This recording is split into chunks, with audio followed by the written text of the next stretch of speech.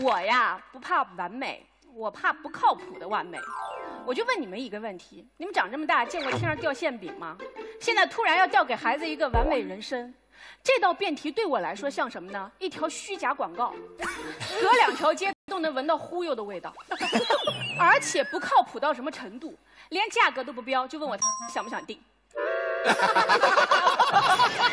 你说你说多不靠谱？作为一个精明的少妇，我今天要全面的跟你们分析一下。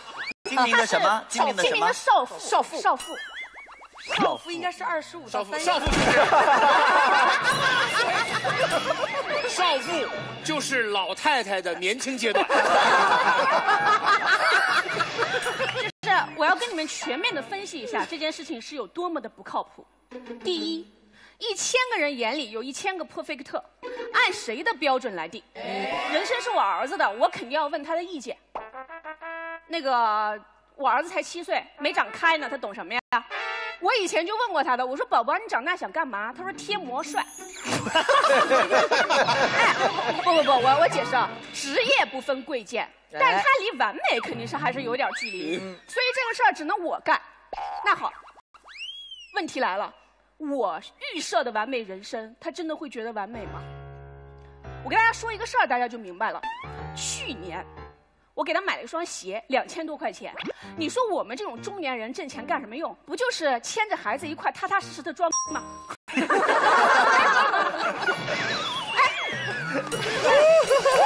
对呀。我第一次听说装可以用踏踏实实。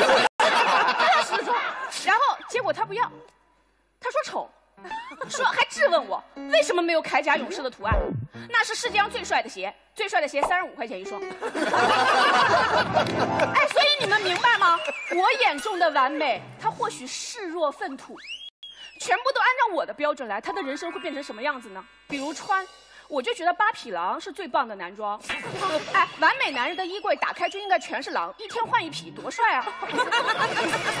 还有搞对象，还有搞对象，对吧？爱上我儿子的必须是完美尤物，胸这个肤白貌美大长腿，听起来棒不棒？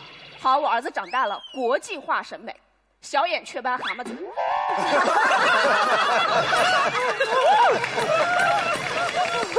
哎，这是第一点，就是我觉得完美是个人主观感受，定制却出自他人之手，矛盾，对吧？它实现不了，不能定，对吧？不能定。好，第二。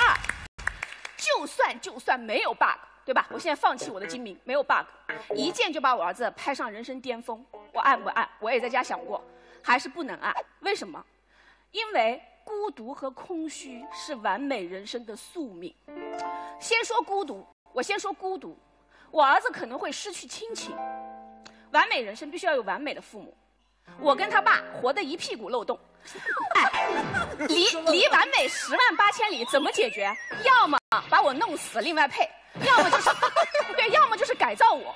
你们看我这个德行，我去整容医院，医生都劝我放弃。哎，我这辈子跟完美有毛线的关系啊？是吧？完美的妈妈灵魂有香气，我的灵魂天天冒冷气。是啊，你说不让吃饭吧唧嘴。不让吵架，是吧？不让说脏话，我活着还有什么意思呀？不如一键把我拍回娘胎里。即便回炉重造，我跟你说，我们的亲子关系也会问题重重。因为这个一键拍下去啊，等于上了一个永恒的保险，它带来了好的生活，但是同时也带来了疏忽和大意。为什么呢？因为反正最后都是 happy ending 嘛，对吧？我儿子生病了，我不紧张，因为完美人生每一件事都有玄机，说不定再重启哪个零部件，治他干什么呢？打扰他历劫。他跟他爸掉水里，我救他爸；我跟他掉水里，他爸救我。他在水里喊救命，我跟他爸在岸上说淡定闭嘴。完美人生每一件事都有玄机，你说这日子过得多神经？还 还有亲情吗？还有亲情吗？说完了亲情，我们说爱情。我们为什么会爱一个人？是因为他完美吗？你们爱一个人是因为他完美吗？不是因为他不同，对不对？是因为他不同，在千千万万人之中，你不知道他哪里好，但是谁也替代不了，这是爱情。完美人生搞过的对象全都一样，五官三维双商，标准化产品，就跟世界连锁炸鸡店似的，你在哪吃不是吃啊？是不是？什么是朱砂痣？什么又是蚊子血呢？哎，你们你们都爱看偶像剧，霸道总裁爱灰姑娘，为什么？因为贱。是不是？爱情就是犯贱！完美人生不允许犯贱。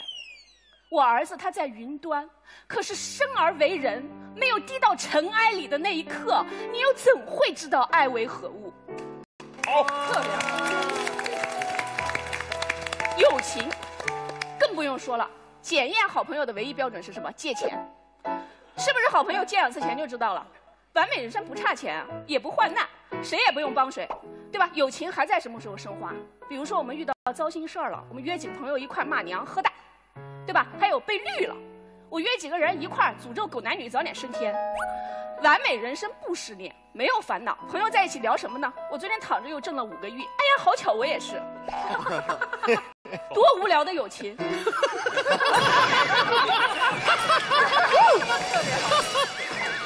哎，只有炫耀没有需要的友情，它还是友情吗？嗯，特别好。亲情、爱情、友情都没有，我儿子天煞孤星。完美。哎，你你们以为这就是他所承受的全部吗？不，还有空虚，因为他这一辈子都不会有成就感。世上没有不透风的墙，谁还不知道自己的人生是怎么回事吗？你长得真帅，我妈一键拍的；你你成绩真好，我妈一键拍的。我好喜欢你，你喜欢我干嘛呀？你妈没拍，你妈拍了你也这样。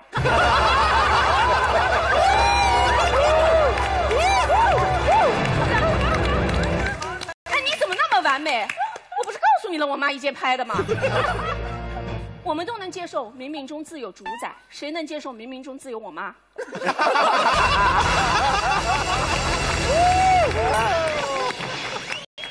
最后呢，因为做了孩，做了做过女儿，也做过妈，就说几句真心话。我觉得今天这个辩题，它不只是一个脑洞题，它其实很现实。它真正要讨论的是，要不要让孩子按你的谱过一生？嗯，对不对？每一个孩子生下来，父母都会跟他设置关键词。我在我还是一个小女孩的时候，我的关键词就被设置为争气，就这两个字。因为我从出生就没见过我父亲，我妈在粮店工作，扛着米包把我养大的。从此，优秀就是我人生中唯一的目标，唯一的。天资也不高，谁累谁知道。我以前在家看《奇葩说》，我特别喜欢这群人，我想来，为什么呢？因为我觉得他们身上有我没有的东西，自由。任性，想不结婚就说我不结，对吧？可以说我就是要铁钉，但是我不行，我早婚早育，特别早就结婚了，因为我必须得按照谱过的人生。现在就是我变成今天的我，我妈特别高兴，因为我成为她灰暗人生中的唯一一个亮点。我现在混的也很好，你们看结果是不错，可是我心里的那些遗憾，我那些想干没干的事，我被偷走的快乐，除了我自己，又有谁真的在乎呢？所以，所以我我生下我儿子，我给他起名叫多乐，快乐是唯一的关键词。我希望他按自己的谱过一生，成为自己真正想成为的人，不必完美，甚至不必优秀。我不知道现在电视机前就是看这个节目的，还有没有人把完美设置为孩子的关键词？如果有，请你扇自己两个大嘴巴。追求完美是人生至苦。真的，追求完美是人生至苦，因为总是有求之不得。你只有放马去追你真正想要的，你才能放下那些你得不到的，明白吗？我拒绝偷走我儿子的人生，所所以如果真的有这么个按钮放在我面前，我绝对不会按的，不装，绝对不按。谢谢大家。特别好。